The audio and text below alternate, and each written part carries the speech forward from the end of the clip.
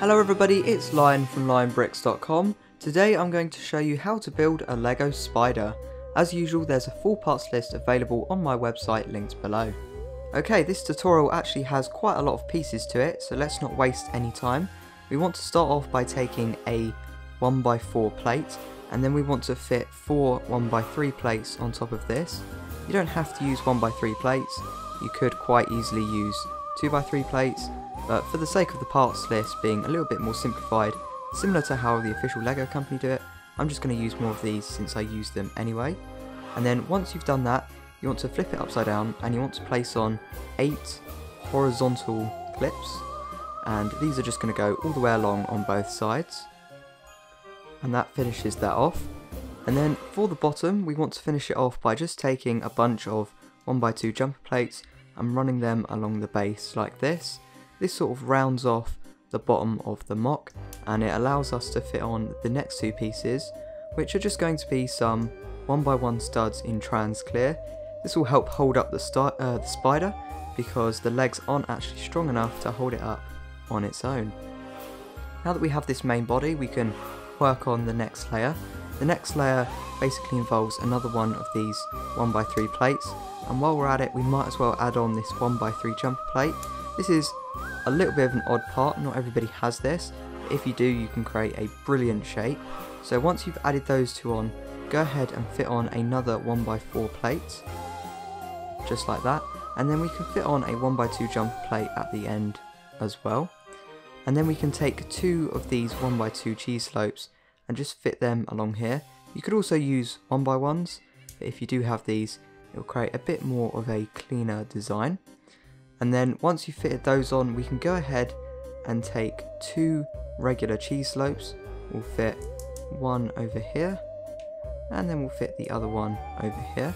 So this is going to be the front of your spider, and this is going to be the back of your spider. So next up, we want to take a whole bunch of one by one plates. We're going to fit one on either side, just like this. And then we want to fit one in the middle as well and then we want to place a tile on top and two more of the cheese wedges on either side and we should have quite a good body shape now. This is kind of the main bulk of the body. We're going to go ahead and work on the head first. So take a 2x2 round tile and just fit that on here like this and then you can go ahead and take one of these brackets and before we put this on it's just a little bit easier to take two of your 1x1 bricks with a stud on the side, fit those on first, and then fit on a 1x2 plate first as well. And then you can fit that on since that is a little bit easier. And then we want to take a whole bunch of these 1x1 round tiles in trans red. These are going to be the eyes. So we want two on the front and then we want two on the sides as well. Let's try not to take this apart as we do it. So we're going to fit that last one on there. And there you go, that is the eyes. To finish off the head, we want to take two tooth pieces and we want to fit these on so that they actually angle away from the eyes. So we're going to fit one on there and then it's easiest to just do it like this. The other one on there. And there you go, that is pretty much the bulk of your spider. Now we want to build the back side. So to do this, we want to take two of these slopes. The first one is quite simply going to fit right on top like that. The second one is going to be upside down and then you want to take one of these pins, you want to make sure that the stud is facing downwards and you want to just fit that on there like that. And then it's not the strongest connection in the world, but I found it was just the only connection that I could use to fit those two together and I feel like it creates the best shape. So there you go, that is the body of the spider. We're going to put this to the side and build the next sections. So what you want to do is take a four long pin, just like this, and then take one of these pieces right here and just fit those two together and then take another four long pin and fit that on there just like so. This will make up one of four of your long legs that you're going to need to build this spider. So we're going to put these to the side and then we're also going to need to build some short legs. So it's very similar, you just want to take a four long pin, with one of these pieces yet again, but this time go ahead and take a 3 long pin and fit that to the side, just like that.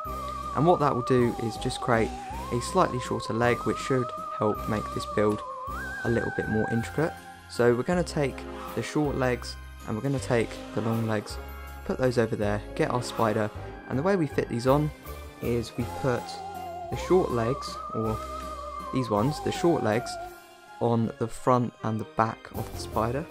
So you fit them on here like this, one on the front, and then take the other one and fit that on the back.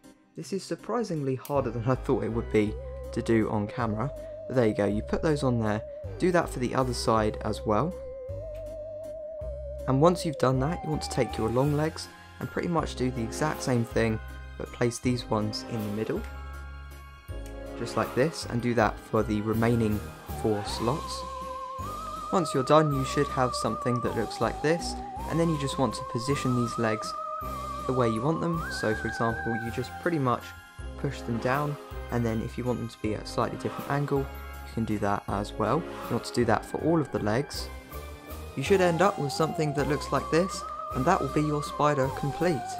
That wraps up today's video, I hope that you enjoyed. For more information on this video and a full parts list, check out my website links below. But until next time, thanks for watching.